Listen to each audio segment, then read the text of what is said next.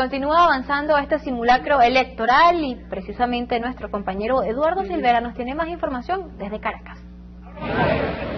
Así es, continuamos llevándole a ustedes información, impresiones, sobre todo por esta imagen que en lo particular me impresiona es la cantidad de personas que el día de hoy se hacen presentes en este simulacro y participan en este simulacro entendiendo lo que es democracia. Andrés Izarra se encuentra acá, pudo conversar con los ciudadanos. Esta imagen, ¿se puede, puede recorrer el mundo esta imagen el día de hoy? Bueno, sí, saludamos a todas las personas que están aquí en la cola. Eh, estamos fluyendo muy bien, un simulacro que arrancó con mucha fuerza, arrancamos con la Diana y ha servido para probar todos los distintos sistemas eh, electorales, pues no solamente los del CNE, un gran apoyo que se le está dando toda la población al CNE en este simulacro, sino también el propio partido está movilizando el 1 por 10, estamos tuitando con la etiqueta eh, asterisco mueve tu 1 por 10, también el Sistema Nacional de Medios Públicos, quiero aprovechar la oportunidad para felicitarlos a todos. De las 3 de la mañana están todos nuestros equipos activos llevando la información desde la primera hora. Tuvimos los primeros contactos con la Diana desde que, desde que amaneció en todo el país la Diana y desde ayer, desde toda esta semana, con todo el preparativo, ha funcionado muy bien. Los equipos desplegados en todo el país, en todos los rincones de Venezuela, hemos estado llevando información sobre el desarrollo de este simulacro electoral. La invitación es a mantenernos pues movilizados. Es muy de muy buen augurio que iniciando el simulacro tengamos una participación tan buena en este centro electoral. Y creemos que así va a ser todo el día, sobre todo si mantenemos movilizado el 1 por 10 y esa maquinaria electoral que va a llevarnos a un gran triunfo el 7 de octubre, es el momento para aceitarla, para precisarla, para corregirla y, afinar todos los detalles de cara a ese gran evento electoral. Este proceso se ha tratado de colocar entre tela de juicio por el tema de que, bueno, que se va a poder determinar quién votó por quién, si esos votos se pueden sumar. Se ha tratado de tergiversar mucho, sobre todo en los medios de comunicación. ¿Cuál debería ser la actitud de los medios de comunicación, sobre todo por el Consejo Nacional Electoral y esto que forma parte del cronograma? Bueno, este es el sistema electoral mejor del mundo el más transparente, el más tecnificado, el más, el más auditado. Eh, creo que cualquier esfuerzo a estas alturas de, desprestigiar o de tratar de deslegitimar la calidad, la, forma como se realiza, el proceso electoral, se estrella con la contundente realidad de cómo se viene desarrollando el proceso. Eh, este herradura, como se llama el proceso, que uno, los pasos que uno tiene que vencer para votar, este, agrega un elemento innovador que la, añade más seguridad al proceso, que es el tema de las captahuellas. Eso es la, gran innovación tecnológica que se está eh, poniendo a prueba en este simulacro electoral y tengo entendido por lo que se ha venido desarrollando, los testimonios que hemos visto, que todos los sistemas dentro de la herradura se han venido desarrollando sin ningún problema, sin ningún error. Eh, es la oportunidad con este simulacro, insisto, de darle nuestro apoyo al CNE, de dar nuestro apoyo al sistema democrático y que todos vengan a participar en un sistema electoral transparente, auditado, confiable, preciso, tecnificado, como que es el que goza Venezuela, el mejor sistema electoral del mundo. ¿Se imaginó que iba a haber esta cantidad de personas el día de hoy? Bueno, la verdad que tenía mis sospechas porque el 1 por 10 ha venido funcionando muy bien desde primeras horas y desde el canal como teníamos monitoreados toda la señal, vimos que desde las 6 de la mañana había gente ya movilizada en las colas. Pero bueno, siempre es grato de alguna forma ratificar lo que veníamos presintiendo, lo que veníamos sospechando por los indicios que uno va recogiendo a lo largo de, de todo el proceso. Creo que esto, el 7 de octubre, augura una gran victoria para el proceso revolucionario, para el comandante presidente Hugo Chávez. Muchas gracias, palabras. Andrés Izarra, importante que ustedes continúen observando esta imagen y es que es impresionante la cantidad de personas, por ejemplo, que están aquí formados para formar parte de este proceso que se está realizando, repetimos, como parte del cronograma electoral. Son los ciudadanos, los protagonistas, los verdaderos protagonistas de este evento. Y antes de despedir este contacto, me gustaría conversar sobre todo con un joven que está acá esperando. Hola, ¿cómo estás? Amigo, ¿por qué participas este día de hoy en el simulacro? Bueno, la verdad es mi primera vez en, este proceso de votación y tengo un gran interés en participar y saber cómo es este proceso, porque según lo que dicen, es uno de los, más, procesos más confiables en todo el mundo y bueno, interesado en apoyar al presidente Y bueno, muy alegre aquí, mucha gente, como pueden ver, muy bastante gente, hay mucha participación y es increíble la verdad el sentimiento que se siente aquí los venezolanos. a la juventud para que participe acá? Que se integren bastante y que defiendan su derecho y que defiendan su derecho al voto porque esto es democracia y digan lo que digan, bueno, chave para todo el mundo. ¿Qué tienes tú? 18 eh, años. ¿Primera vez que vas a votar entonces? Exactamente, claro que sí. palabras de uno de esos jóvenes protagonistas de la jornada del día de hoy. Gracias a Beverly Serrano por ese excelente trabajo. También gracias a la gente que nos hizo llegar ese material del cual vamos a conversar con Jorge Rodríguez. Sabemos que se arriesgaron y nos hicieron llegar ese documento inédito donde el hoy coordinador del Comando Venezuela está diciendo lo que dice. Eso es 15 de junio del año 2003. Ya me vas a responder, Jorge. Solamente quería acotar, ustedes escucharon en boca del propio presidente y candidato Hugo Chávez el compromiso de reconocer el resultado de las elecciones, sea cual fuera, que además ha sido su comportamiento habitual si pulsamos, si buscamos en la página web del Consejo Nacional Electoral, ahorita no lo podemos ver porque hay mucha luz aquí, van a encontrar ustedes la foto de cada uno de los candidatos y la firma del acuerdo compromiso por la democracia. Ustedes van a ver allí la firma del candidato Hugo Chávez y de quienes lo acompañan en esta contienda.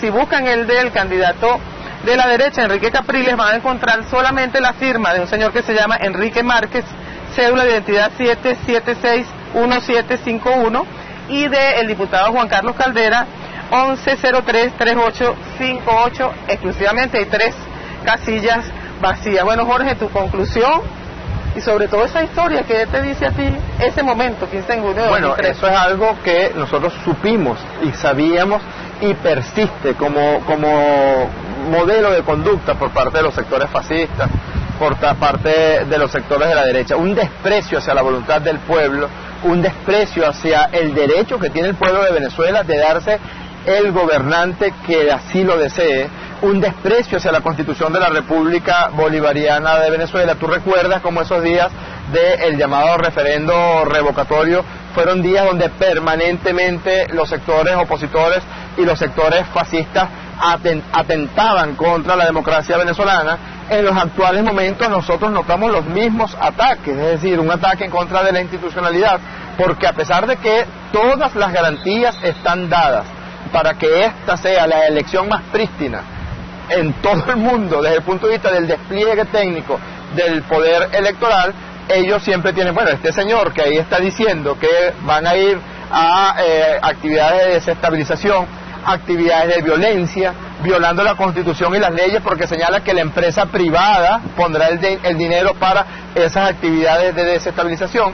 Nosotros ahora sabemos que los banqueros prófugos que están allá en Miami y que quisieran volver a ponerle la mano a los bancos y quisieran volver a ponerle la mano a los depósitos de, de, miles de venezolanos que ellos defraudaron, pues están financiando la campaña de la derecha venezolana por vía directa, por vía de depósitos, por vía de uso de las aeronaves por parte de este candidato de los ricachones de aeronaves, de estos banqueros prófugos o alquiladas por ellos. Es decir, es el mismo guion que ellos quieren repetir, que ellos quieren reproducir y yo llamo la atención al pueblo de Venezuela acerca de quiénes son los que tienen la propuesta de desestabilización, quiénes son los que tienen la propuesta permanente de agresión contra el pueblo de Venezuela. No solamente agresión desde el punto de vista directo en los eventos electorales, sino en la misma eh, génesis y en la misma profundidad del llamado programa que ellos le están presentando al país o que ellos de forma un poco con subterfugio tratan de ocultar, ahí está el nivel máximo de agresión en contra del pueblo de Venezuela, porque todas las conquistas sociales que el pueblo de Venezuela ha obtenido con Hugo Chávez en la presidencia de la República Bolivariana de Venezuela son completamente desmontadas en este programa de la MUTA. Y hay un libro de un, de un periodista investigador francés que desentraña todos los aspectos neoliberales, el nuevo paquetazo que intenta este grupo de ultraderechistas eh, implantar en el país en caso de que lleguen al poder, eliminación de las misiones sociales, devolverle a PDVSA su carácter eminentemente comercial y financiero. ¿Qué quiere decir, decir eso? Quiere decir adiós a la gran misión vivienda Venezuela, adiós a las misiones de salud, adiós a las misiones educativas, volver otra vez al llamado libre juego de la oferta y la demanda. ¿Qué quiere decir eso? Tasas de interés como le dé la gana a los banqueros, sobre todo esos banqueros prófugos que quieren recuperar eh, ese espacio desde, el cual robaban al pueblo de Venezuela, otra vez la clase media venezolana pagando 100%, 85% por cuotas hipotecarias. Esa es la verdadera agresión que ellos tienen planeada. Yo diría que tienen dos agresiones. Una agresión preelectoral, que es el desconocimiento del árbitro, tienen eh, permanentemente una actitud de, eh, bueno, está bien, vamos a participar, vamos a hacer como que participamos en la elección de una forma psicopática, por cierto. el, llamado como sí. Lo que identifica el como sí. Lo que identifica un psicópata de una persona que no es psicópata es precisamente el como sí. Como si participaran en las elecciones presidenciales, como si atendieran las reglas del juego, pero permanentemente tienen un plan que se sale de la normativa vigente. Y la otra gran agresión es la que tienen escrita en su programa, es la que tienen ya modelada, afortunadamente, el pueblo de Venezuela, que no es masoquista, pues no va a permitir que esa agresión se instaure, porque el 7 de octubre le proporcionará a estos fascistas, a estos candidatos de los ricachones, a estos derechistas que permanentemente quieren sembrar angustia y desestabilización, la más grande derrota que hayan conocido en su vida. Mira, yo me voy a permitir, permiso aquí voy a buscar en la columna de los domingos del día Rangel el día de hoy. Además, quiero felicitar la celebración aquí en Venezuela del decimoprimer Congreso Latinoamericano de Periodistas de la FELAP, que le rindió un merecidísimo homenaje a eh, Díaz Rangel, pero de verdad que no tiene pérdida la, columna del día de hoy. Primero es los cuentos de Amuay, y tiene que ver, hace una enumeración como buen periodista Díaz Rangel de todas las historias que se tejieron alrededor de ese suceso, bueno, que no, lamentable para todos los venezolanos, mientras unos estábamos pendientes de atender a las víctimas y de solucionar el problema, había gente que estaba inventándose historias, las describe muy bien aquí. Díaz Rangel, otro, la tarjeta blanca y hace el análisis de que Acción Democrática no tiene tarjeta ahora. Esa es una pregunta que te voy a dejar para el final. No están allí ni Acción Democrática ni COPEI, ¿qué se estarán guardando para el futuro?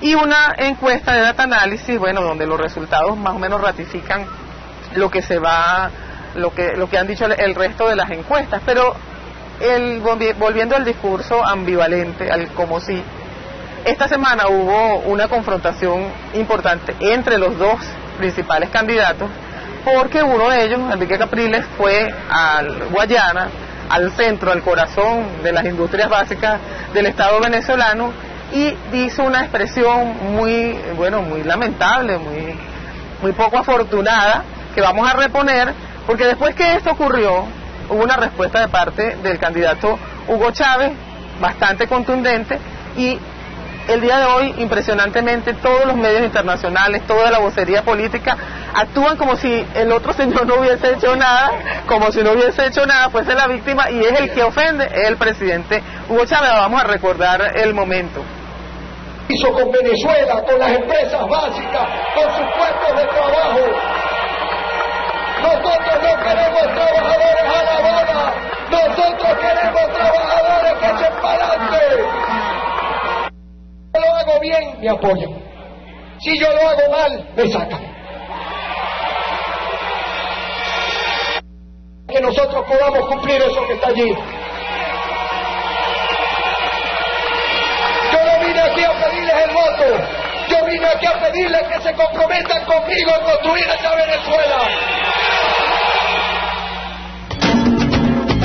Bueno, mira Jorge, hay que recordar que después de allí hubo una manifestación al día siguiente de los trabajadores de Guayana, que los vimos pues a través del Sistema Nacional de Medios Públicos indignados, y después vino la respuesta del presidente. Pero ustedes que hacen seguimiento como Comando Carabobo a la cobertura, a la reacción, a las tendencias, cómo lo ha tomado el pueblo, qué, qué, resonancia electoral tienen esas expresiones, ¿qué, me cuentas? Es que fíjate, Tania, esa, esa actitud perdóname que, me salga un poquito del evento político y hable un poco en términos, en términos de psicología. Esa actitud es una actitud característica de aquellos que nada les ha costado nada de lo que han obtenido en la vida, que siempre, por ejemplo, si querían fundar un partido político, la mamá de Leopoldo López sacó un cheque de PDVSA y le entregó un cheque de PDVSA de 60 millones de bolívares de la época, varios millones de dólares de la época, para que, bueno, los hijitos de papá pudieran tener su partido político de ultraderecha, de tendencia clara y abiertamente derechista y fascista.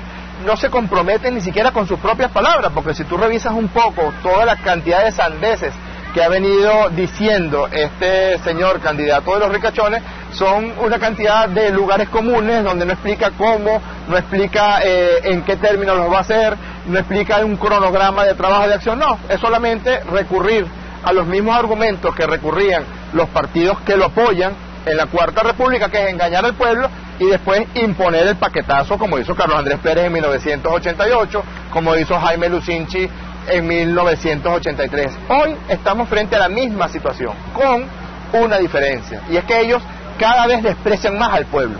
Es decir, se sienten tan envanecidos en el apoyo que reciben de las grandes oligarquías financieras y de las grandes oligarquías internacionales, de los sistemas financieros, de los grandes medios de comunicación en manos de sectores de la derecha en el mundo entero, que se consideran con el derecho de insultar a quien le dé la gana.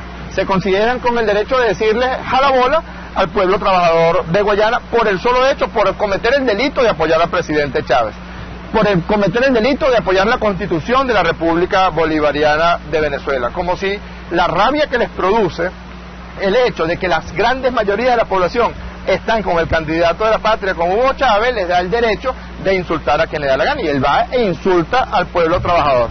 Claro, Chávez, que es pueblo trabajador, y el pueblo trabajador que se siente indisolublemente unido a Chávez, pues va y le responde. ¿eh? Tú le dices a la bola a los trabajadores, pues resulta que es a la bola del imperio norteamericano, eres tú. Que resulta que, que el jalabola de la burguesía nacional venezolana, el que recibe recursos, como lo dice Leopoldo López. La empresa privada no va a dar la plata para la desestabilización. La empresa privada no va a dar la plata para poder montar todos los tinglados que queramos Eso montar. habla del financiamiento internacional. Claro, y eso que hablan del financiamiento internacional, que en este caso, en este caso es un elemento fundamental en el apoyo al candidato de los recachones. Por allá están haciendo en Florida una serie de foros tratando de poner en entredicho el sistema electoral venezolano, es decir, que ya reconocen la inmensa derrota que Chávez les va a propinar el 7 de octubre, porque juego ganado no se tranca. ¿Por qué están hablando de plan B? ¿Por qué están hablando de en foros internacionales que el sistema electoral venezolano, a pesar de que todos los expertos electorales del mundo entero señalan y consideran al sistema electoral venezolano como uno de los más sólidos de todo el mundo, pues por alguna razón ellos están eh, cada vez más mostrando la posibilidad del plan B. ¿Cuál es la razón? Bueno, que ya se sienten derrotados. Esto no lo digo con ánimo triunfalista. Dije antes que el pueblo que se soltó hoy a todos los centros de votación a apoyar al poder electoral en el simulacro y también aprobar el desarrollo de nuestra maquinaria, pues que se quede en la calle movilizado, desplegado hasta el 7 de octubre cuando Hugo Chávez sea electo de la forma más contundente que haya conocido la historia Todavía de no este se nos va Jorge Rodríguez, pues me tiene que responder si va a haber un cierre de la jornada y el tema de la tarjeta blanca que no está allí, pero nos vamos a Portuguesa, donde la participación ha sido, nos mostraron aquí los muchachos una fotografía, ha sido masiva desde muy temprano antes de que salga el sol. Adelante. Efectivamente, tal y como ustedes lo comentaban, el contacto a esta hora lo hacemos desde el Estado portuguesa, específicamente desde el Centro Electoral Liceo Bolivariano Doctor Arturo Uslar Prieti. A mi lado se encuentra la diputada de la Asamblea Nacional Blanca Ecao, quien es dirigente del Comando Campaña, para que nos comente un poco, diputada, acerca del simulacro electoral que se celebra hoy en el país. ¿Cuáles son sus impresiones? ¿Cómo pudo observar el proceso? Bueno, una gran alegría, un gran orgullo poder estar participando en este simulacro que pone a prueba este sistema extraordinario, nuestro sistema electoral, que es además ejemplo en el mundo, pero la mayor alegría es ver cómo se ha concentrado el pueblo venezolano desde muy tempranito en la mañana en todo el territorio nacional para eh, justamente probar no el sistema, probar la fuerza de la democracia venezolana, la fortaleza, la conciencia, el corazón del pueblo venezolano y su compromiso con la defensa de la patria. Como con entusiasmo, con alegría y con valor, con coraje, el pueblo está desde muy tempranito haciendo el esfuerzo, viniéndose con su muchachito, con su muchachita, los ancianos, gente de la tercera edad, gente con discapacidad, el pueblo todo, los jóvenes, un montón de jóvenes, de mu- muchachos y muchachas que están ejerciendo además por primera vez el voto y estamos ahí frente al tarjetón electoral probando nuestro sistema que como decía es referencia en el mundo pero reafirmando la fuerza que tiene este próximo evento del 7 de octubre que es un evento crucial para el país determinante para que logremos fortalecer esto que hemos hemos co- conquistado como pueblo pero que tiene que ver con nuestra independencia con nuestra soberanía que la reafirmaremos el 7 de de octubre y que trazamos ese rumbo firme para consolidar la justicia social, la construcción del mundo que queremos, del socialismo bolivariano, el pueblo ejerciendo el de el derecho inalienable a la democracia y demostrando la fortaleza, el civismo y la convicción del pueblo venezolano. Ahora, diputada, ¿alguna diferencia que pueda notar acerca del proceso electoral que se va a celebrar el próximo 7 de octubre en comparación con otros comicios? ¿Usted ratifica la institución del CNE como una institución confiable, transparente? Es un ejemplo para el mundo. Nuestro sistema electoral es uno de los que tiene más posibilidades de ser auditado, es totalmente, totalmente eh, un, sistema que garantiza que el ejercicio directo de cada votante de manera automática sea recogido, pero además tiene un comprobante físico de ese ejercicio del voto, tiene eh, eh, la, fortaleza de que hemos pasado por más de proceso 14, de, de un proceso de más de 14 eventos electorales donde hoy eh, gente de todo el mundo, estaba gente de Corea, de la India, viniendo a tratar de, de replicar el sistema que se ha convertido en efectivamente en uno de los, de los elementos para copiar como transparente, como eficaz, como efectivo y como garante de que la voluntad del pueblo sea, se pueda recoger efectivamente dentro del sistema. Entonces,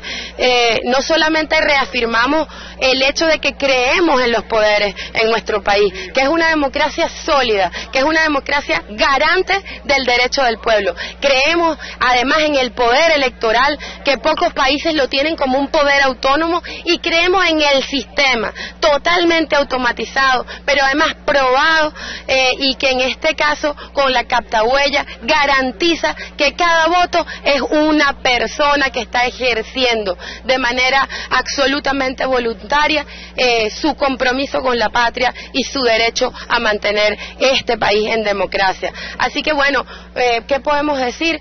Nosotros le decimos al pueblo venezolano que estas elecciones del 7 de octubre, cuando vemos la afluencia, la afluencia en el simulacro, estamos convencidos, convencidas de que el 7 de octubre va a ser la elección con menos eh, vamos a tener la abstención más reducida que hayamos tenido en todas las historias de las elecciones en el país, porque todos los hombres y las mujeres de este país sabemos que nos estamos jugando la patria. Así que ejercer el derecho al voto es defender la patria, así que no va a haber un ciudadano, una ciudadana, un venezolano, alguien que tenga el corazón en este país que no venga a ejercer ese derecho, ese deber y ese compromiso con las generaciones futuras, con el país y con la historia la importancia de votar el 7 de octubre para ratificar, por supuesto, el proceso revolucionario en el país. Cuéntame un poco, llama al voto y un poco la importancia que tiene pues todo el mundo salir el 7 de octubre. No se puede quedar nadie nadie en su casa. No podemos caer en triunfalismo. Es fundamental entender que una elección se gana con la movilización, con la conciencia, con el ejercicio del voto y con la defensa de ese voto.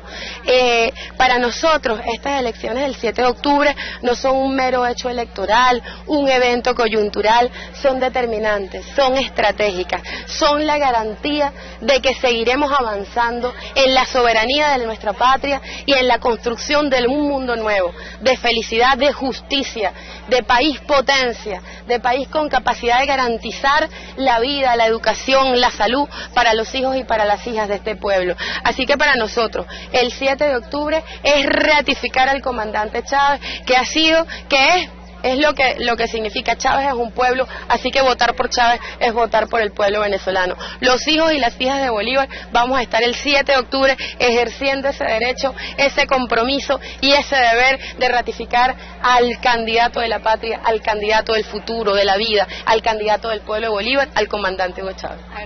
Bien, eran palabras entonces la diputada de la Asamblea Nacional Blanca ECAP, quien ratificaba a la institución del Consejo Nacional Electoral como una institución como ejemplo a seguir en el mundo entero. Es la información que nosotros manejamos hasta los momentos desde el Estado portuguesa y con ella regresamos nuevamente el pase a los estudios en Caracas. Adelante.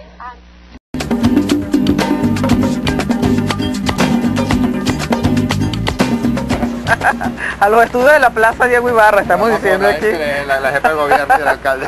Así es. Bueno, estamos por despedir ya el dando y dando de hoy con el alcalde Jorge Rodríguez. Nos quedó una preguntita al aire que era, bueno, el, que el hecho de que la tarjeta blanca ni la verde estén aquí ahora. Es la primera vez en los últimos 50 años que otra vez, por una táctica de engañifa, por una táctica de volver a tratar de, de taparle al pueblo cuáles son las verdaderas intenciones, cuáles son los verdaderos intereses que están detrás de este candidato de los ricachones que se le exigió que Acción Democrática y COPEI, que tienen a este señor como su candidato, pues no presentaran sus tarjetas y vienen ocultos, por primera vez no están en el boletón electoral, por primera vez no están en el boletón electoral eh, las tarjetas de Acción Democrática y COPEI y se guardan bajo el subterfugio de la llamada tarjeta de la unidad, pero quien vote por esa tarjeta, los pocos que voten por esa tarjeta de la unidad, estarían votando por Acción Democrática y por COPEI. Y eso es precisamente lo que ha caracterizado todo el despliegue que ha tenido la candidatura de la derecha a todo lo largo de la campaña electoral, ver cómo tapan las verdaderas intenciones. Ahí el presidente denunció el viernes desde el Polideportivo del Estado Vargas, pues el programa que ellos intentan instalar e instaurarle a las venezolanas y a los venezolanos, un paquetazo incluso más salvaje que el que instauró Carlos Andrés Pérez en 1989 y que tanta angustia y tanto dolor generó en el pueblo de Venezuela. Yo estoy seguro que la madurez que el pueblo además ha venido construyendo y construyéndose a sí mismo en estos años de revolución va a quedar plenamente demostrada en las elecciones del 7 de octubre, cuando todo el pueblo elija a Hugo Chávez, que es garantía de tranquilidad para todas y para todos, que es garantía de estabilidad política, estabilidad social, estabilidad económica, resulte electo presidente constitucional de la República Bolivariana de Venezuela para el periodo 2013-2019. ¿El simulacro de hoy fue una medición de fuerza? Yo creo que el simulacro de hoy fue una demostración de la solidez del sistema electoral venezolano y del apoyo que el sistema electoral venezolano recibe del pueblo de Venezuela. Y les va a costar mucho a estos Leopoldos López y a estos sectores de la ultraderecha seguir agrediendo y atacando al sistema electoral venezolano, seguir agrediendo y atacando a la constitución de la República Bolivariana de Venezuela, porque son instituciones que ya están muy arraigadas en el sentir y en el ser del pueblo de Venezuela. Luis Marcano, primero. Adelante, Luis. Tania, seguimos transmitiendo desde el Liceo Bolivariano Fermín Toro en vivo y en directo, como lo hemos hecho desde las 6 de la mañana, mostrando a ustedes la asistencia a estos espacios en el marco del simulacro, por supuesto, de cara a las elecciones del próximo 7 de octubre, elecciones presidenciales. A esta hora todavía hay personas que se acercan a las etapas correspondientes a la herradura del sistema electoral venezolano. Observan ustedes, de los ocho puntos dispuestos, ocho máquinas con sus correspondientes operadores, son operadores eh, del área de sistema de información al elector. Estas personas que acuden al, a cada una de las máquinas, pues evidentemente entregan su cédula eh, de identidad laminada y reciben un papelito donde les es marcado el, número de la mesa de votación. En el caso del Fermín Toro, como hemos informado durante toda la mañana, son 12 mesas de votación, hay un despliegue de unos 90 funcionarios de distintos organismos, fundamentalmente del Consejo Nacional Electoral, por supuesto también de los integrantes de la Fuerza Armada Nacional Bolivariana. Vamos a seguir mostrándoles las imágenes que corresponden a esta hora, transmisión en vivo y en directo imágenes en vivo y en directo. Por aquí ha pasado el general Wilmer Barrientos, él es el comandante estratégico operacional, también la rectora del CNE, Socorro Hernández. Observamos a nuestro embajador en la Organización de Estados Americanos, Roy Chatterton, la integrante del Parlamento Latinoamericano Grupo Venezuela, Ana Elisa Osorio, entre otras personales, y por supuesto también gran cantidad de personas. Nosotros, eh, ustedes bien saben pues que no, no está permitida la totalización o no forma parte del proceso la totalización de las personas que acuden el día de hoy al simulacro. Sin embargo, nosotros podríamos estimar que unas 600 personas han acudido a este centro de votación de un total de más de 6.000 que tienen la oportunidad de sufragar en este, que a diferencia de muchos otros es uno de los centros pilotos, por ello solamente pueden venir aquí quienes están en la data del Registro Nacional Electoral inscritos en este centro de votación, es decir, no hay personas eh, correspondientes a otros centros y que hayan sido nucleadas en este lugar. Tania, regresamos contigo a la Plaza Diego Ibarra. Bien, gracias Luis Marcano, muy buena la aclaratoria que hace Luis en este momento, se ha explicado suficientemente, pero ya saben ustedes que la página web del Consejo Nacional Electoral tiene la información además inmediata, todavía falta una y media, falta hora y media para que cierre este simulacro electoral. Hay gente también en las, todavía en las mesas de votación. Ustedes consulten www.cne.gov.be si tienen alguna duda y si son militantes de la revolución, manden un mensaje de texto al 2406 con su número de cédula y ahí le dice inmediatamente dónde acudir. Nos vamos ahora con Eduardo Silvera, adelante. Así es, y es que las personas acá no se detienen. Desde las 8 de la mañana comenzó el ingreso a este centro electoral. El simulacro inició puntualmente, pero ellos, estos ciudadanos que se encuentran acá, muchos de ellos, estuvieron desde la mañana. Y con ellos vamos a conversar, Tania, porque es importante destacar cómo todavía hay presencia de ciudadanos acá. Disculpe, señora. Eh, esperando para poder participar en este simulacro. Y, es que no se detiene la cantidad de personas acá. Vamos a conversar con esta señora. Buenas tardes, ¿cómo está? Señora, ya han pasado prácticamente cinco horas y media y todavía la gente está acudiendo al simulacro. ¿Por qué cree usted que está pasando esto? Bueno, porque la gente quiere participar y quiere saber y dar apoyo a lo que es el eh, a nuestro árbitro y a pesar de todo igual como el comandante, pues. ¿Usted cree en el Consejo Nacional Electoral? ¿Cree que es un organismo confiable? Por supuesto, claro, porque si no, no estuviese toda esta gente aquí. Muchísimas gracias. Conversamos con un amigo. Amigo, ¿cómo estás? ¿Por qué participar en el simulacro? ¿Qué te llama la atención de este simulacro? Tenemos que demostrarle a Venezuela y al mundo entero de que queremos nuestra patria y que nada ni nadie nos va a pisotear más nunca, porque no volverán más nunca. ¿Confías en el CNE? Claro que sí confiamos en el CNE. Porque Vamos a conversar con otras personas. Por acá, con la señora. Buenas, ¿cómo está usted, señora? Señora, ¿por qué participar el día de hoy en el simulacro? ¿Qué le llama la atención de este simulacro? Claro, para mí es importante. ¿Por qué, señora? Por muchas cosas. Dígame una. Te, te digo varias.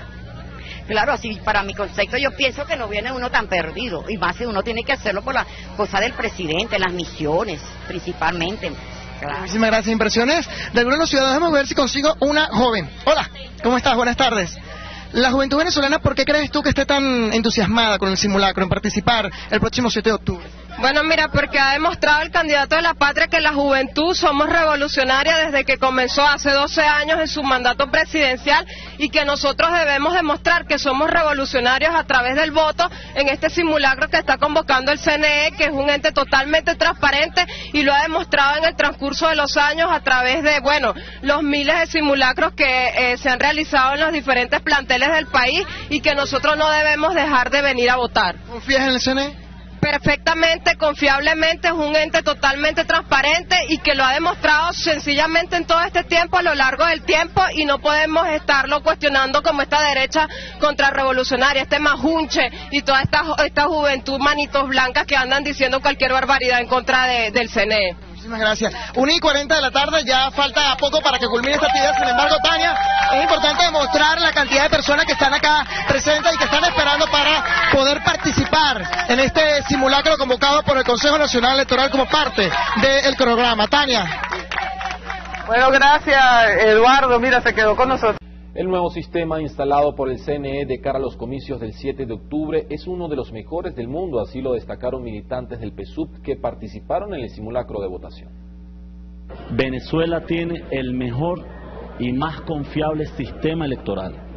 Lo que acabamos de ver es eh, la Venezuela nueva, un sistema electoral totalmente sistematizado, totalmente transparente. Desde el momento que uno se coloca directamente frente al tarjetón, yo creo que no pasan ni 10 segundos.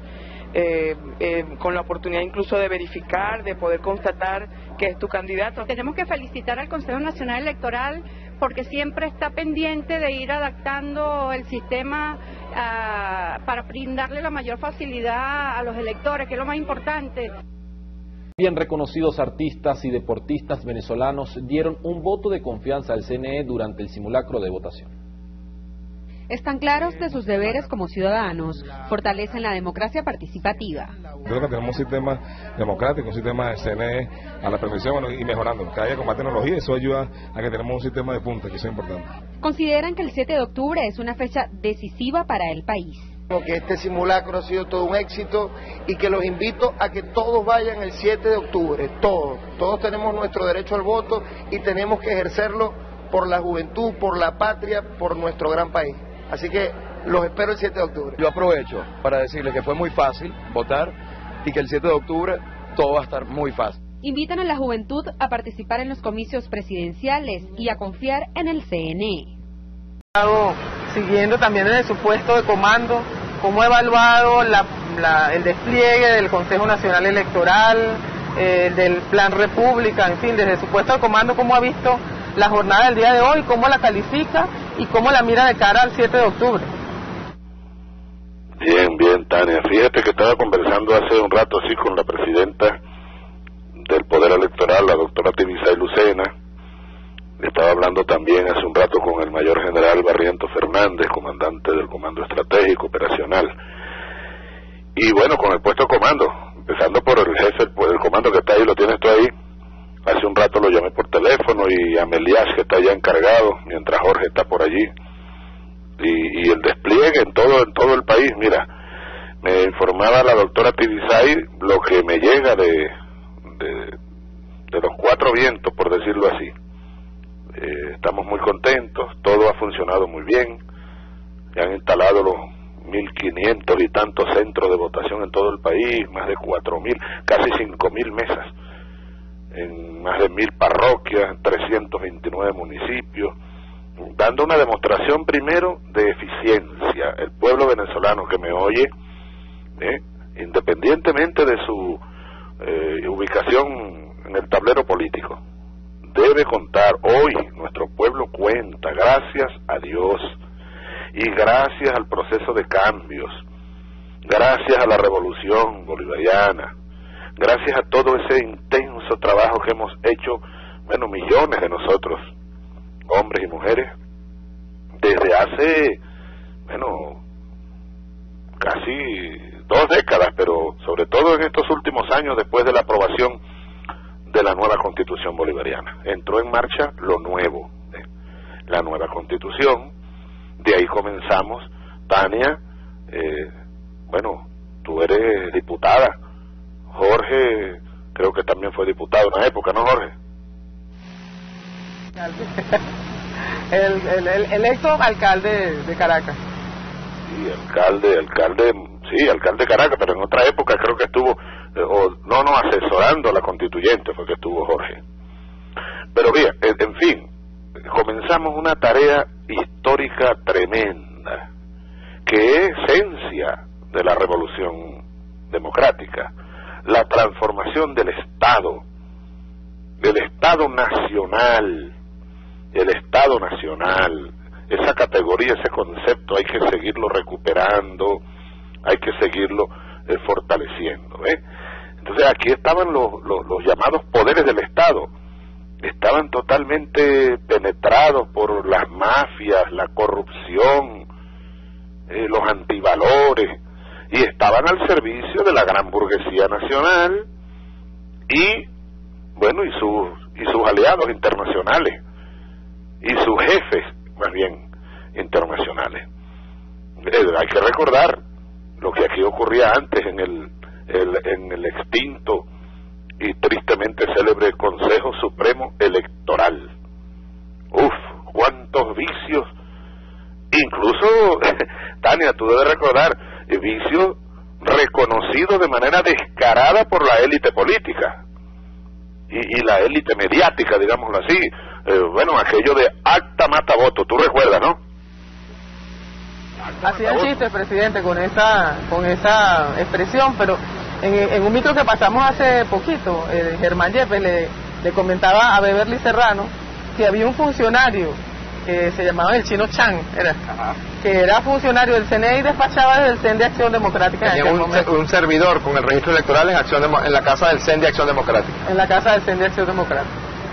Comandos paralelos, pues, había, había consejos electorales paralelos así como tenían comandos de PDVSA fuera de las instalaciones de PDVSA. Hay que recordarlo, fue eh, parte de la batalla petrolera del, de hace 10 años, eh, cuando la, la élite petrolera eh, dirigía las operaciones desde puestos de comando, búnkers establecidos en otros lugares de Caracas y más allá en otras partes del país y hasta nos saboteaban a, a distancia por satélite y nos robaron, se llevaron los sueldos y dividendos y todo lo que pudieron llevarse eh, aquel diciembre de 2002, cuando abandonaron, abando, habiendo abandonado el trabajo y sus responsabilidades, eh, se pagaban ellos mismos, pues, en las cuentas bancarias, manejaban eh, todo por computadoras y sistemas externos, porque habían privatizado todo aquello. Igual pasaba con el Consejo Electoral, acta mataboto, sí, yo recuerdo el, el, el apellido de aquel famoso personaje, personajillo, pues. En fin, y bueno, uno lo vivió de muchas maneras. Dentro del ejército, Yo nunca olvidaré las elecciones de 1978, porque ese año fue un año de esos que, para mí, fue un año de esos que Nietzsche llama en Zaratustra los años monstruos. Años monstruos, años eh, maravillosos, más bien diría yo, luminosos. Eh, ese año me casé, eh, ese año nació mi primera niña, la Rosa. Eh, ese año comenzamos a crear las primeras células de lo que era entonces Ejército Bolivariano, allá en Maracay, en el cuartel Abelardo Mérida, en el batallón blindado Bravos de Apure, en el cuartel Páez de los paracaidistas y más allá, en la Fuerza Aérea, estaba Reyes Reyes, de, de teniente, éramos jóvenes tenientes, en la Escuela de Aviación Militar. Yo estaba anoche recordando muchas cosas, antenoche, porque estaba Walter Martínez pasando un tremendo documental sobre el 27 de noviembre, bueno, eh, en ocasión del bautizo de un extraordinario libro que recomiendo y felicito por aquí al coronel Viñas García, un joven teniente en aquella época del 27 de noviembre hace 20 años. Ahora de manera voluntaria, presidente, se lo quería apuntar. Saludar a todos esos medios de comunicación y ojalá también los medios comunitarios, bueno, y los que quieran, ¿no? Para, porque yo lo que ando es estudiando, aprovechando mi tiempo aquí, ¿ve? estudiando, escribiendo, eh, bueno, y cumpliendo con mi, una de mis labores, eh, bueno, tratando de, eh, contribuir con el estudio y, y, clarificar, con la clarificación del, del mapa nacional, para que nadie vaya a decir después, no, a mí me engañaron, mira, pobrecito, no, no, que nadie, que nadie, el que vaya a votar por la derecha, tiene que saber por, por qué está votando, no por quién está votando. El quién es lo de menos. No, el, quién, Chávez es lo de menos es el proyecto, es el rumbo que lleva el país hacia dónde. El que vaya a votar por la oposición el 7 de octubre tiene que saber que está votando por lo peor del pasado de la Cuarta República, lo peor.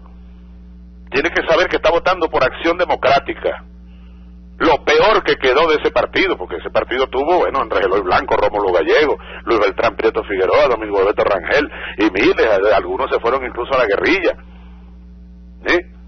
lo peor que de Copey, lo peor, lo que quedó, pues, ¿cómo fue que dijo Jordani un día, que se los dijo en su cara en la Asamblea Nacional? La escoria, la escoria del pasado, la escoria, de los desechos, de, los desechos de un proceso pasado, ahí están todavía. Por, por eso van a votar los que voten por la derecha venezolana, van a votar por el imperialismo, Ah, los que voten por Chávez no es por Chávez, ¿qué importo yo? Es por la patria, es por el desarrollo del país, por la independencia nacional, por el futuro.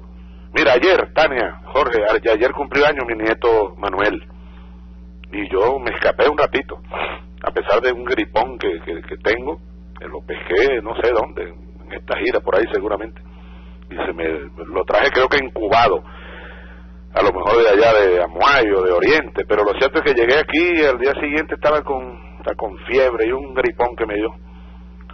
Luego me puse a trabajar aquí, bueno, encerrado. Y, pero ayer me, me escapé. Qué bonito pasé yo un rato allá con, con mis hijas, con mis nietos, mi nieta, Rosinés vino. Y bueno, un grupito de amigos, unos niños. Me senté a hablar con los niños.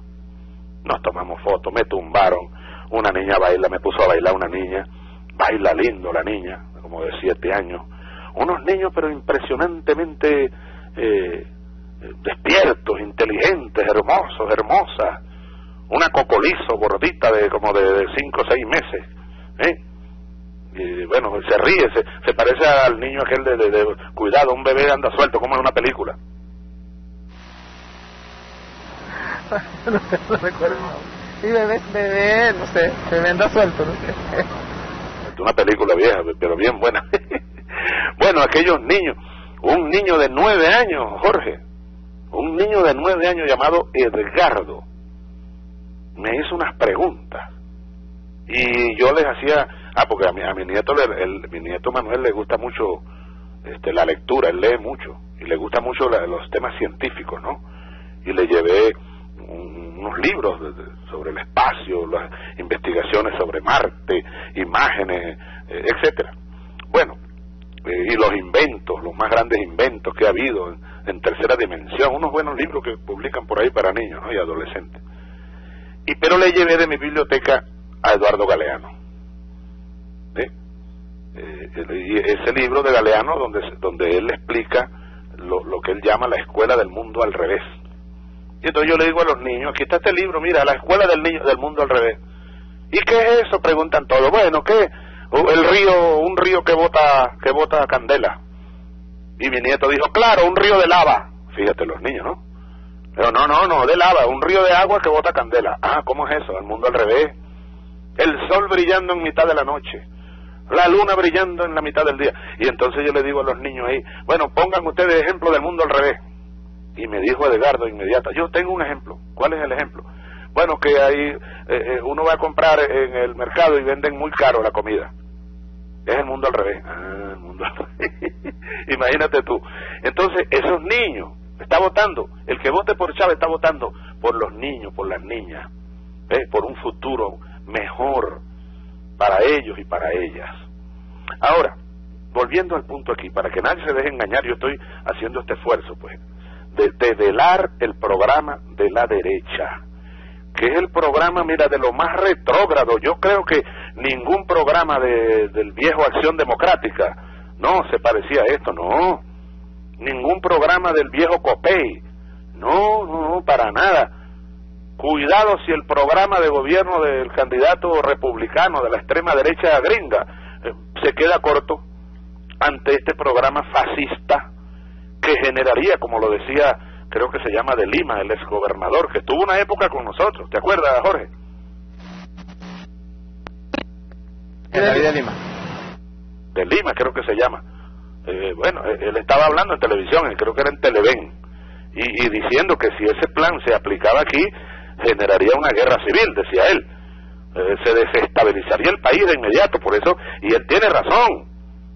Quizá no una guerra civil, pero entraríamos otra vez en crisis política, económica, social, etcétera. Y Venezuela se hundiría de nuevo y yo creo que sería peor, ocurrirían cosas peores de las que ocurrieron en los 80 y en los 90, sobre todo, que fueron esas dos décadas no solamente perdidas, no, décadas catastróficas para, para la nación venezolana, para el pueblo venezolano.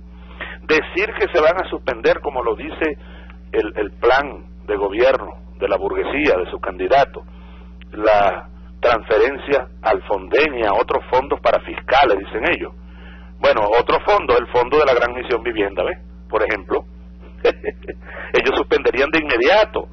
Por eso es que eh, es una agresión al pueblo permanentemente la mentira del candidato de la derecha, que dice que no, que las misiones las vamos a mejorar. Mentira, mentira, y por eso es que él anda por ahí eh, dando carrera de pueblo en pueblo, diciendo que ha recorrido 500 pueblos, pero no se detiene a responder preguntas, porque no tiene cómo, y porque además eh, el, el empeño de él es esconder el verdadero programa de la burguesía. Fíjate, suspender el, el, los ingresos al Fonden sería, además de violar la ley, habría que paralizar de inmediato, Tania, más de 50, más de, más de 100 proyectos, más bien, más de 100 proyectos que están en ejecución por vía del Fondo de Desarrollo Nacional, una planta de pulpa y papel, lo cual generaría un disparo en el desempleo, pero de inmediato, entre otras cosas, y la paralización de un conjunto de proyectos que a lo mejor ellos o los dejan abandonados o los privatizarían. Empresas de tubos sin costura, recuperadoras de materias primas, proyectos de saneamiento de ríos, inversiones del metro de Caracas,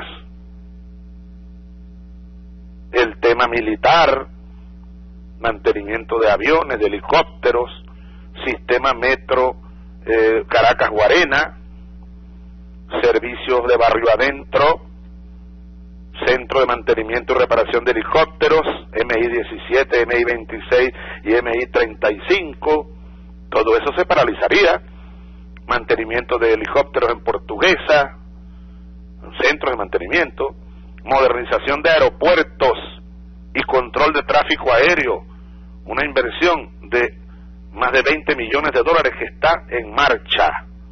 Ellos, por cierto, que proponen más adelante, hablando de aeropuertos, para que ustedes vean, por eso te decía Tania, perdóname que me alargue tanto, ¿ah? pero eh, me sorprendo y, cada día me convenzo más, Jorge, que tenemos que hacer un esfuerzo más grande para develar este plan, fíjate. Aquí dice, en la página 202 del libro, del libro que se llama El programa de la MUD, Romain Migus. Este es un periodista, creo que francés, ¿no? Sí, es un periodista francés, presidente. Sí, fíjate lo que dice aquí, Tania. El artículo 1127, ellos dividieron eso en artículos. Se elaborarán los decretos de descentralización y concesiones de carreteras y autopistas. Ah, bueno, eso sería volver de inmediato a aquel mecanismo perverso de que de concesiones, de carreteras y, carreteras hasta destrozadas donde había peajes. ¿Tú te acuerdas de eso? Entre Barinas y, y Caracas, yo recuerdo que había que pagar más de 10 peajes, pues. Por, por el Guárico, carreteras totalmente destrozadas, y tú te conseguías unos peajes, y había que bajarse de la mula, como se dice en criollo. Privatizar la carretera, ni siquiera las autopistas. Mira que nosotros eliminamos hasta el peaje de La Guaira. Ustedes recuerdan que había peaje en La Guaira, ¿no? Aquí en Tazón, todo eso lo eliminó la revolución. Pues ellos entregarían no solo autopistas y peajes y puentes, sino las mismas carreteras del país. Fíjate lo que dice aquí hablando del transporte aéreo. En el artículo 1140, página 202 del libro de Romain Migus, dice, se procederá a la reinstitucionalización del sector transporte aéreo a fin de separar las funciones de control de tráfico aéreo de los de la Autoridad Aeronáutica, INAC. En tal sentido, en el marco de la descentralización, los aeropuertos serán operados y mantenidos por los estados, bajo la óptica de la posibilidad de implementar concesiones bien diseñadas y administradas, nada más ni nada menos que privatizar puertos otra vez y aeropuertos y, abandonar aquellos, bueno, de, de aquellas poblaciones o ciudades del interior que no sean para ellos rentables, ¿ves? ¿Eh? Entonces, por eso, por eso te decía, el Fonden está ahora mismo adelantando un proyecto de modernización de aeropuertos en todo el país, saneamiento de la cuenca del lago de Maracaibo, proyectos de Fonden, centro de diseño de pequeños satélites. Estamos ya casi por terminar la fábrica de pequeños satélites. Todo eso se, se detendría. Planta para producción de ferroníquel en alianza con Cuba. Abastecimiento de agua potable a nivel nacional. Aquí mismo tengo los proyectos de agua potable que van desde grandes tuberías como la que viene de para Caracas y Vargas de allá del TUI 4 hasta, bueno, eh, pequeñas tuberías que llevan agua potable a, un barrio, a un caserío por allá, por más lejano que, que sea, ¿no? Obras para saneamiento del lago de Valencia, construcción, planta de concentración de cuarcitas friables, esto es el proceso siderúrgico, la planta de cemento Cerro Azul que está a punto de ser inaugurada, planta, una nueva siderúrgica nacional, que estamos financiando por el Fonden. Y otra parte la financia Brasil, porque estamos haciéndola con, con participación brasileña allá en, en Guayana. Y el Banco de Desarrollo Brasil financia la mitad y nosotros la mitad. Eso significaría además destrozar un conjunto de convenios que son, eh, bueno, decenas de convenios de cooperación con Brasil, con China, con Rusia, con Argentina, con Cuba, etcétera, etcétera.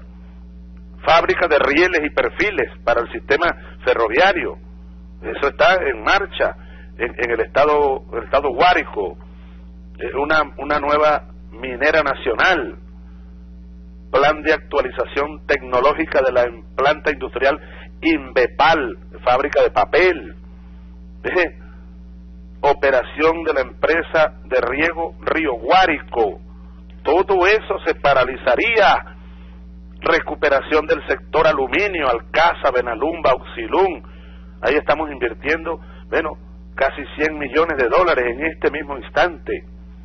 Y esos son flujos que se van alimentando porque PDVSA cada semana, según la ley y en función de los precios del petróleo, si los precios suben, el flujo a Fonden sube también.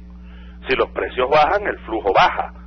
Pero eso es semanal, que PDVSA aporta recursos al Fonden y el Fonden con ellos sigue alimentando estos proyectos y muchos otros del orden social, económico. El sector eléctrico nacional, en este momento, 270 millones de dólares se aprobaron recientemente para inversiones eléctricas que van desde plantas de generación, mantenimiento, ampliación, sistemas de distribución, de lo macro a lo micro. ¿eh? Recuperación del aluminio, ya les dije. Metrocable, el metrocable Mariche, eso se pararía de inmediato. Porque el metro de Caracas no tiene recursos para eso. Más bien el metro tenemos que subsidiarlo. Y esta es una obra que ejecuta el metro de Caracas 61 millones de dólares se aprobaron hace poco, en junio de este año 2012, del Fonden para el Metrocable Mariche, maquinarias y autobuses, proyecto Plaza de la Galería de Arte Nacional, que está por concluirse, planta de cemento, planta de morteros, mantenimiento de equipos militares, proyectos agrícolas y producción de biofertilizantes, bioestimulantes y biocontroladores, ampliación de plantas de cítricos, frutales y hortalizas, producción de jugos de fruta, estas son plantas de lácteos los Andes en este caso, jugos de fruta, conservas de tomate y derivados de la leche, todo esto se detendría, producción de cal viva e hidratada entre Venezuela y Cuba, fábrica de producción de maquinarias pesadas para la construcción que se está comenzando en Marina con apoyo de Bielorrusia y se le aprobaron hace poco 17.5 millones de dólares. Empresa pesquera del Alba, 207 millones de bolívares. Equipos de ingeniería para uso militar y convencional para uh, apoyar las unidades de ingeniería militar.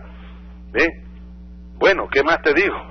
Continuación de obras educacionales, plan de culminación y continuación de obras educacionales, es decir, eh, aldea universitaria, Simoncito, nuevas aulas, liceos, escuelas básicas. Bueno, casi mil millones de bolívares se aprobaron y están en ejecución por Fonden. ¿Eh? ¿Qué más dice aquí? Empresas productoras de insumos médicos. Estamos incluso eh, haciendo fábricas de medicina, vehículos, partes y repuestos para la Fuerza Armada, todo eso se detendría. Semiproductos y laminados largos de acero al carbono, fertilizantes, proyectos petroquímicos, en fin, bueno, fábrica de cocinas, Tania, con la empresa Haier de China, ahí en los valles del Tuyo estamos instalando una gran planta industrial para producir cocinas domésticas a gas y luego haremos nevera. Es decir, todo este, todo este esfuerzo sobre el cual, que, nos permite instalar una base industrial, una base de infraestructura social, de hospitales, escuelas, ferrocarriles, carreteras, sistemas públicos de transporte, metro, metrocable, plantas industriales, zonas industriales, es la base de la infraestructura social y productiva para el gran impulso al desarrollo nacional. Todo eso se vendría abajo. Por eso yo insisto, Tania eh, y Jorge, a ti sobre todo Jorge como, bueno, y tú como periodista, Tania también, ¿no? Eh, y Jorge como jefe del comando de campaña, y a todos quienes me están oyendo, hay que hacer un esfuerzo muy grande de difusión y discusión del programa de la derecha, y también de nuestro programa, por supuesto. Aquí tengo, aquí tengo el, ah, bueno, fíjate lo que dice eh, eh, con el tema internacional, Tania, el artículo 1188 del programa de la burguesía dice, la diplomacia venezolana apoyará todas aquellas iniciativas dirigidas a afirmar el papel y la posición de Venezuela como abastecedor de petróleo y derivados confiable y seguro de nuestros clientes. Al mismo tiempo, se revisará el uso que se ha hecho de este importante recurso para el apuntalamiento de alianzas geopolíticas de dudosa conveniencia para el país. ¿Eh? Claro, ellos, lo bus- ellos buscan, tienen un, un mensaje ahí o un- una redacción rebuscada, unas palabras rebuscadas, pero nosotros sabemos lo que eso significa. Romper con los acuerdos con China, con Rusia, con Mercosur, del punto de vista energético, y le entregar el petróleo, otra vez casi regalado, a las transnacionales imperialistas. E- ese es el programa del, del Majunche, que hay que hacerlo conocer, hay que discutirlo. Y luego el nuestro, que es el programa del desarrollo nacional, de la independencia, de la construcción de una, una nueva sociedad, una nueva economía, un nuevo sistema político, donde juega un papel muy importante el poder electoral que hoy está desarrollando junto al pueblo y, y nuestras maquinarias y partidos, eh, etcétera, un gran simulacro, eh, muy exitoso hasta esta hora y estoy seguro que terminará siendo exitoso. Presidente, bueno, ya está por terminar el- la jornada del simulacro electoral. Eh, Jorge Rodríguez quiere hacer un comentario. Bueno, presidente, realmente es fundamental ese planteamiento que usted hace respecto a los verdaderos planes que la derecha tiene, porque ellos lo han ocultado con eufemismos, con subterfugios, con una maquinaria de propaganda al servicio de las grandes trans- transnacionales en manos privadas en el mundo entero, pero se ven con claridad las costuras de entrega del país a los intereses que lo poseyeron en el pasado y que dejaron a los más amplios sectores de la población en la desesperación, en la angustia, en la miseria. Hoy es el cumpleaños de mi hijo Matías, nació dos días después que su nieto, y por ello, por nuestros hijos, por nuestros nietos, por el futuro de esta patria, vamos a conquistar la más inmensa victoria el 7 de octubre. Eso se lo garantiza su pueblo, el pueblo de Venezuela, presidente Chávez. ¿Quién cumple años hoy que no te oí bien? No, Matías, mi hijo Matías cumple hoy nueve años de edad. Matías, ah, nació un día después que Manuel. Bueno, vamos a mandarle un abrazo a Matías y un feliz cumpleaños. Me mandan un pedacito de torta, Matías. Bueno, por ellos es la lucha y por ellos será la victoria. Por ellos y para ellos y para ellas. Gracias, Jorge. Adelante, pues. Bueno, yo voy a seguir pendiente aquí, Tania, de, del simulacro y, y estudiando y tomando decisiones también. Firmando cosas, firmando cuentas. Aquí estoy aprobando la creación de la empresa de transporte fluvial Apurinoco, ¿eh? adscrita al Instituto Nacional de Desarrollo Rural, el INDER. Ahí pronto haremos la, la primera demostración de... Son unos barcos, mira. Tania, te invito a que pasemos por allá. Qué bueno sería que hicieran un programa sobre sobre el, el Apure, el río Apure, el Arauca, montar un, un barco de eso. ¿Qué te parece, Tania? Me gusta, pero al equipo de producción le gusta más. Usted le llega la, la cara ahora aquí, estamos dispuestos. Los domingos a ir para allá. invierno, que esos ríos están desbordados de, de bueno, de fuerza, ¿no?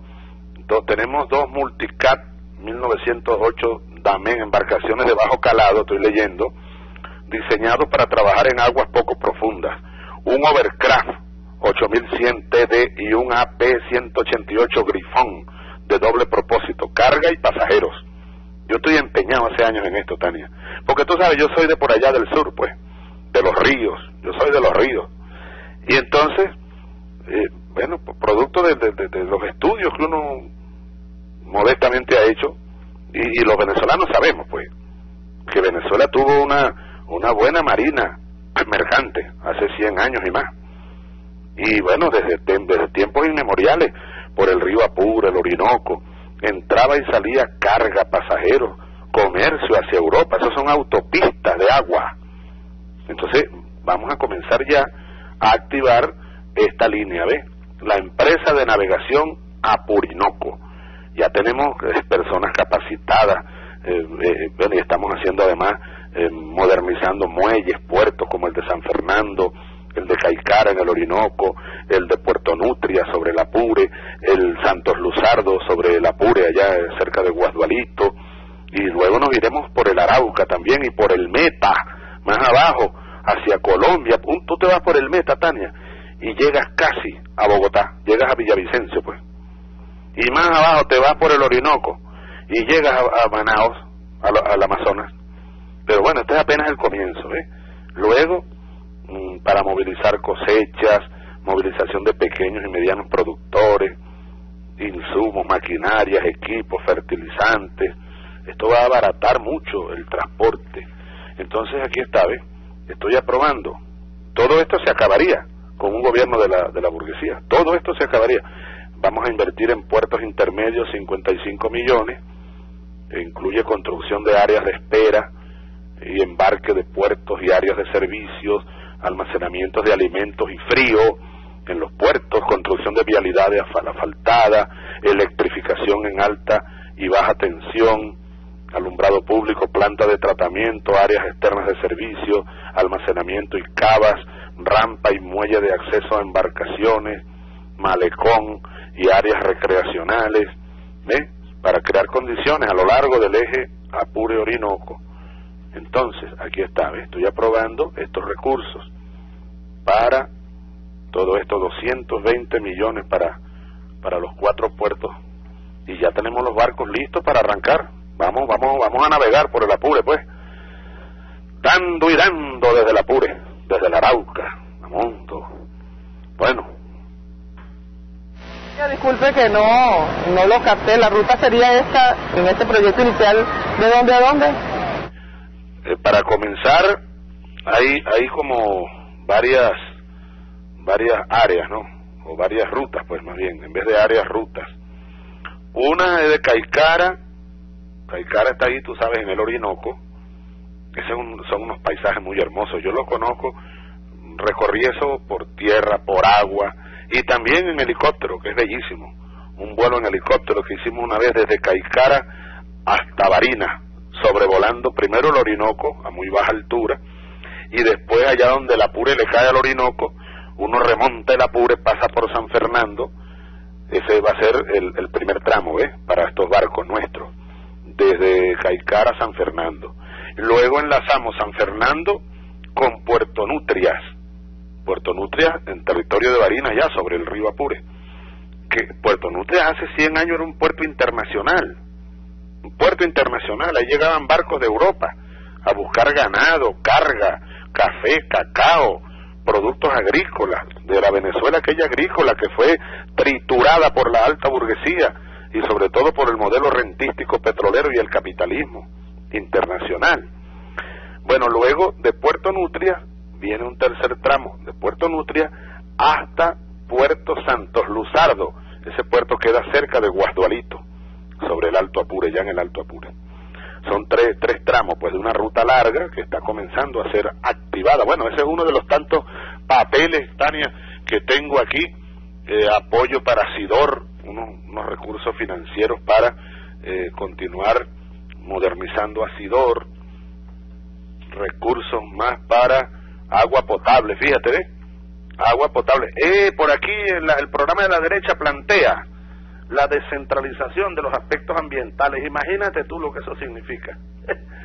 bueno, abandonar totalmente por parte del Estado Nacional, una vez más, el tema, un tema tan importante como es el tema ambiental, el tema del agua, el tema... ¿ves?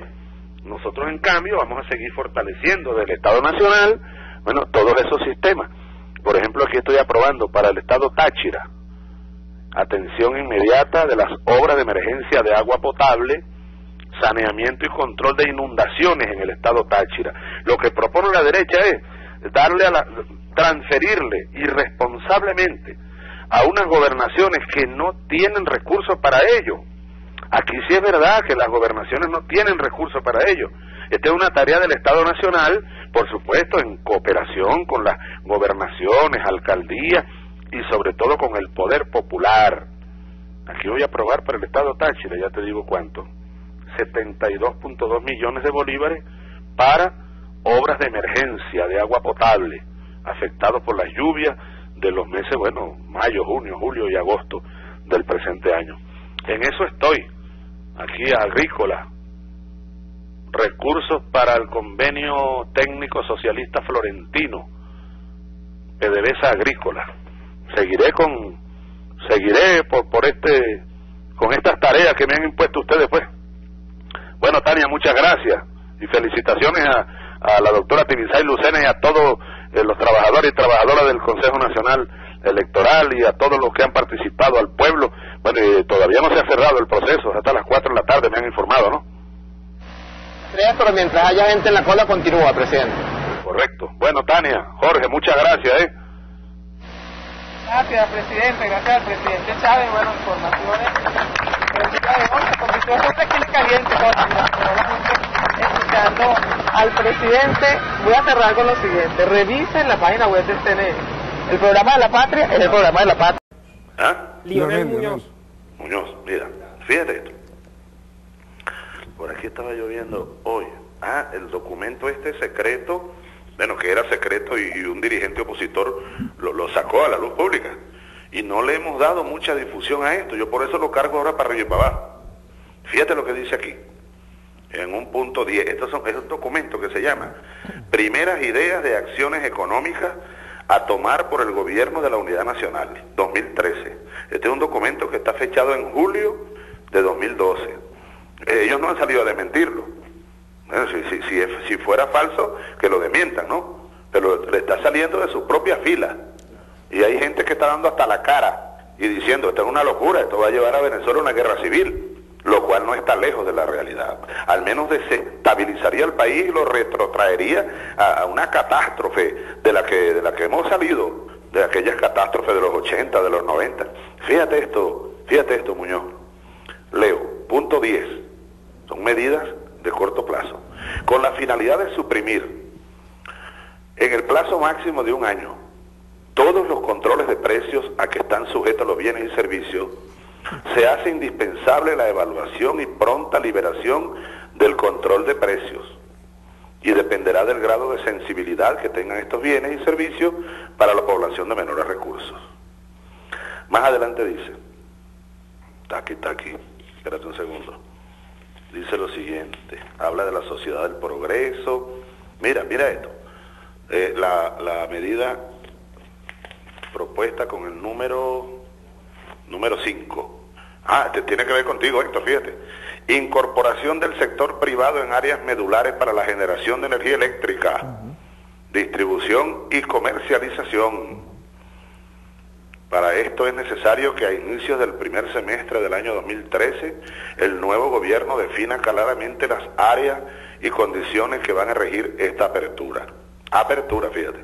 Considerando además que se ha politizado el sector eléctrico, pues esto es culpa tuya, Héctor, ¿eh? se ha abultado la nómina, no se han ajustado las tarifas y hay una caída abrupta de la cobranza. En tal sentido es inevitable el incremento gradual de las tarifas del sector eléctrico, pues ya no es posible, dicen ellos, sostener el subsidio a, la electricidad. Por eso se propone, fíjate esto, por esto se propone un ajuste promedio semestral del 10% para el primer año. Luego viene el número 6, política de racionalización de costos y ajuste gradual de tarifas del transporte público masivo. Para esto se propone incrementos trimestrales de 5% en los precios del pasaje trimestrales en los metros de Caracas, Valencia, Maracaibo, Ferrocarril del Tuy, Metrocable y otros sistemas de transporte público hasta llegar como mínimo a que los ingresos operativos cubran los gastos, gastos los costos, perdón, gastos operativos, etcétera. Fíjate esto. Siete, dada la pesada carga fiscal que para el Estado supone el ritmo de incorporación de nuevos beneficiarios al sistema de pensiones, oído al tambor, que ha impuesto el oficialismo, es imperativo que el nuevo gobierno en el primer trimestre de 2013 decrete la creación de la Comisión Presidencial para la Reforma de la Seguridad Social, para que en un lapso por definir proponga un sistema que sustituya al actual y que esté basado en pensiones mínimas. chileno. Fíjate esto, pensiones mínimas, eh, eh, financiado con recursos públicos, capitalización individual, con aportes fiscales producto de liquidaciones de activos públicos, es decir, privatización, ¿ves? Fíjate esto. Ah, después dicen que para ir dándole viabilidad de este nuevo sistema, es fíjense en esto, es necesario congelar el monto de la pensión que recibe cada beneficiario, no indexarlo al salario mínimo como actualmente se realiza y no incorporar a más personas que no hayan completado la cotización necesaria para el beneficio de dicha pensión. Entre paréntesis, y en mayúscula dice, revisar este punto con expertos del área, fíjate. Ahora, para esto tendrían que violar la constitución, ¿verdad? y, y eso es lo último que quiero comentarle, fíjense. Y es una de las cosas más graves. Más adelante habla del sistema financiero y también crear un comité para la reforma del sector bancario, bueno, que elimine, aquí dice, recomendar la supresión progresiva de las carteras de créditos obligatorias a sectores especiales como la agricultura, el turismo, la industria y sus respectivas tasas de interés, etcétera. Todo eso lo harían, es lo que ellos pretenden hacer. Los controles de precios, ah, ya se lo dije. Pero mira lo último que les voy a decir, a leer aquí. Fíjate esto que viene aquí. Es necesario considerar que muchas de estas primeras medidas económicas estructurales requieren de reformas legislativas, para lo cual no contaremos en principio con una mayoría en la Asamblea. Por eso es necesario que el equipo jurídico elabore medidas sublegales, reglamentos o decretos presidenciales que nos permitan ir avanzando en el desmontaje del modelo estatista, socializante y colectivista que ha creado la llamada revolución. Bueno, aquí lo que están diciendo, eh, bueno, a buen entendedor, pocas palabras, ¿no? Que van a desconocer las leyes. Y van a, harían, harían, no, no se trataría de medidas sublegales, más bien serían medidas extralegales, ilegales, reglamentos, decretos presidenciales, e- eliminando esto, eliminando aquello, porque saben, bueno, que no contarían con, con la aprobación de la Asamblea Nacional. Por eso te decía, es impresionante esto, y, y más impresionante aún que nosotros no lo hayamos difundido en estos dos meses, ¿no? Ahora que me está llegando esto, bueno, a ver que está saliendo ahora, ¿no? De filas opositoras, este documento producto de una encerrona, como dicen allí mismo. Y el libro este de, de, de Romain, que es muy bueno. Presidente, discúlpeme, eh, pero que no solo es el carácter economicista, que ya es bastante, como usted lo ha mencionado, que tiene esos documentos, eh, sino el carácter profundamente inhumano, eso de recortar las pensiones, evitar que ingresen más eh, personas de la tercera edad a ese beneficio, que una conquista social que ha avanzado la revolución bolivariana. Eh, hay un contenido, una carga profundamente eh, de- de odio, incluso de desprecio a los sectores populares en eso, ¿no? Y yo diría que incluso algo, fíjate, algo que es, mm, no deja de tener una carga, Aranguibel, peligrosa, explosiva, ¿ves? Explosiva. Y que yo creo que mm, se presentó eh, cuando el golpe de Estado en el 2001, el 2002, 2002. ¿A qué me refiero? Un, diagnóstico totalmente equivocado de factores del capitalismo, de la derecha, de la, alta burguesía. Es decir, en el 2002 ellos pensaron que tenían, bueno, el toro agarró por los cachos, no, ya esto está liquidado, pues.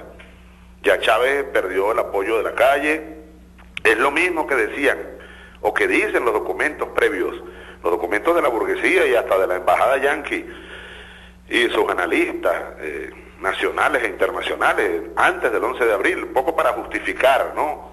Eh, o, para crear mm, eh, unas falsas condiciones que incentivaran a mucha gente a seguirlos, ¿no? E- Eso de que, no, ya el gobierno perdió la calle, ya el apoyo militar lo perdió también, el apoyo internacional, no lo, bueno, en ese tiempo no teníamos en verdad mucho apoyo internacional de gobiernos, Eh, pero sobre todo eso, que ya Chávez había perdido la calle, pues el pueblo estaba contra Chávez y que era muy fácil tumbarlo y bueno, y derrocarlo y montar a Carmona, es decir, es una cosa pro- verdaderamente, oye, este, traída de los pelos, pues, producto de análisis eh, totalmente errados. Es lo mismo que están haciendo ellos ahora, cuando, cuando elaboran estos documentos. Ellos creen tener el poder para aplicar estas medidas. Y eso sería, eh, eh, generaría de inmediato, bueno, una poderosa reacción de los distintos sectores del país. Un país como el nuestro, hoy, los trabajadores, PDVSA, los trabajadores de PDVSA, los trabajadores de las empresas básicas, el pueblo, la familia venezolana, los pensionados, los jubilados, los militares, los civiles, sería una reacción, pero eh, bueno, eh, que desestabilizaría sin duda el país. Eso, eso es muy peligroso, pero hay por eso hay que delatarlo, porque este es el verdadero paquete, es un paquete neoliberal, parecido al que están aplicando en Europa, parecido al que aplicó aquí a punta de plomo Carlos Andrés Pérez, pues bueno, vino el caracazo y, y el plomo parejo, la represión y lo aplicaron, bueno, hasta que bueno, vino el 4 de febrero, 27 de noviembre, hace 20 años, y, y- la rebelión popular militar obligó a la derecha a reconsiderar el plan y lo, lo, engavetaron al menos eh, por, por un tiempito.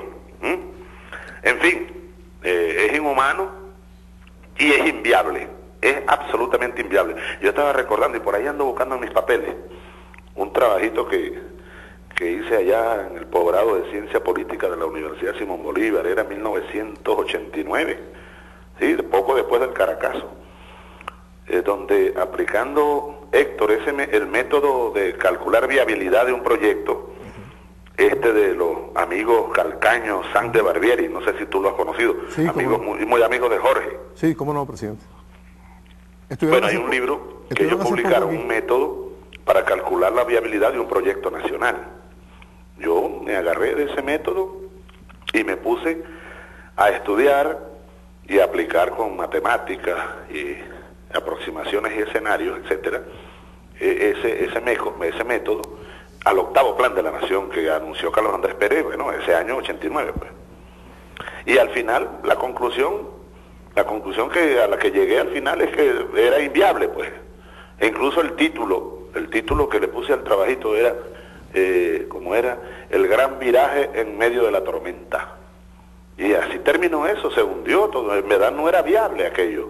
Ellos, ellos partían de bases falsas, ¿eh? de bases falsas. Ahora, en cuanto a los porcentajes electorales, fíjate, Muñoz, tú estabas recordando, eh, 56% ganamos nosotros en el 98, ¿no? 56.12 Ajá.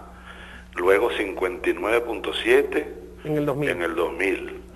Y, y en el referéndum del 2004, ¿no tienes esa cifra ya a la mano? Cin- 59%. Ajá. Casi el mismo, nos mantuvimos en el 59. pues. Sí. Y luego rompimos el techo del 62,8% en el 2006. Es correcto. Ajá.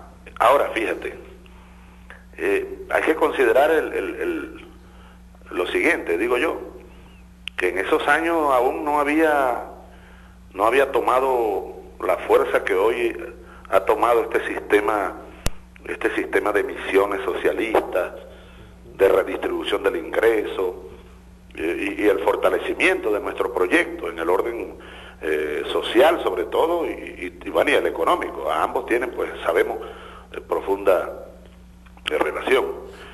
También pudiéramos decir que no teníamos el grado de, de unidad que hoy tenemos. El partido con todas las fallas que pueda tener el PSUV que hoy tenemos. La maquinaria que hoy tenemos. En fin, hay razones para pensar que si este mes que viene, que, empezó ya la, la etapa final de la campaña, aquí estoy también, Héctor, eh, revisando una serie de propuestas del comando de campaña para definir entre varias opciones, bueno, el, por dónde por dónde comenzar y, con qué ritmo y, con qué líneas ofensivas, etcétera, la, recta final de la campaña, septiembre, pues. Ahora, si nosotros seguimos haciendo las cosas y mejoramos, mejoramos eh, en, los argumentos, yo por eso yo siempre insisto, en la argumentación, en las ideas.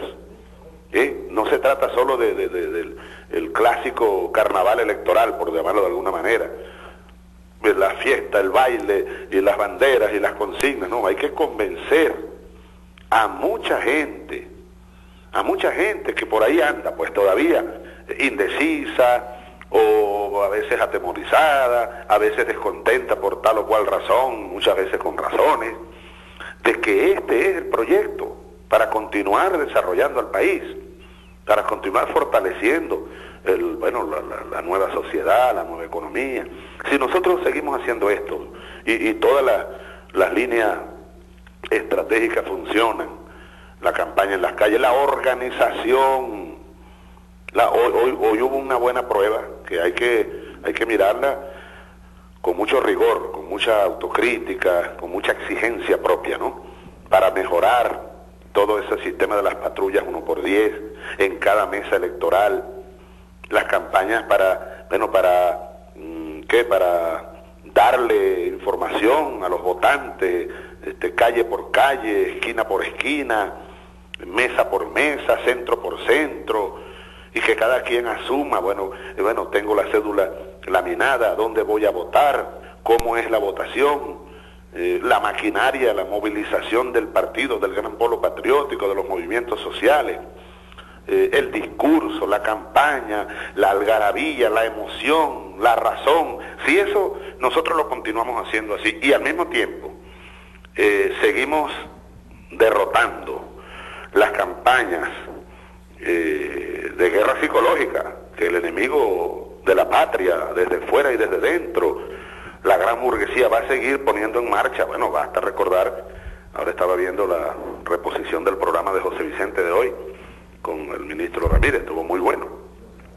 La columna hoy de Díaz Rangel, de Últimas Noticias, cómo, cómo esta oposición sin patria, sus dirigentes, pues, se trataron de montar como Zamuro sobre el dolor y sobre la muerte y la tragedia de Amuay. Y todo, todo, toda la, campaña de guerra psicológica que hay todos los días. Pues. Eso hay que seguirlo neutralizando y derrotando.